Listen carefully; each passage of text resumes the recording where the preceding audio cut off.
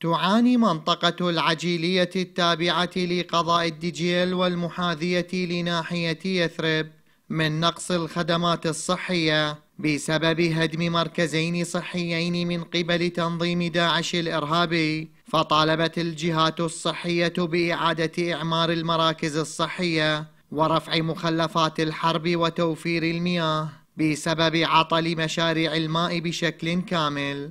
نوجه مطالبنا للجهات المختصة. إحنا منطقة كانت مسدودة هاي الفترة كلها. تعاني من مشاكل صحية كبيرة جدا. القاذورات مذبوبة بكل مكان. سكراب البيوت مذبوب بكل مكان. المراكز الصحية عندنا أكثر من مركزين آه، آه، تم تهديمهن. اللي اللي اللي أن التوجه يصير كله على المسائل الصحية لأن هاي حياة ناس. آني أجيب إنسان أحطه ما أراعي حياته.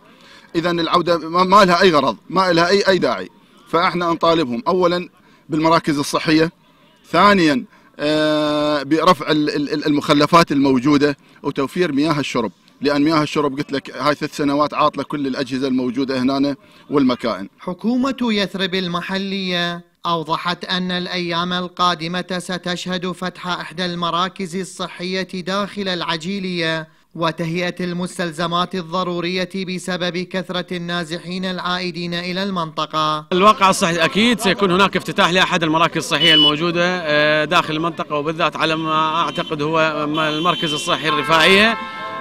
وسيتم تنسيب الكوادر التمريضية والإدارية ويزود باسم الملزمات وآلية من قبل قطاع قطاع الرعاية الصحية الأولية في بلد اهتمام بالناس نظرا لكثرة العوائل العائده وهذا اتفاق مسبق بين الجهات السياسية والجهات الأمنية على توفير الخدمات في القطاعات الأساسية لتمكين الناس من ممارسة حياتهم بشكل طبيعي. لعلها من أهم ما يبحث عنه النازحون عند عودتهم، فالجانب الصحي يشكل جزءا اساسيا من أساسيات الحياة. بعد العودة إلى ديارهم طالب النازحون العائدون إلى منطقة العجيلية بتوفير الأدوية اللازمة والمستلزمات الصحية.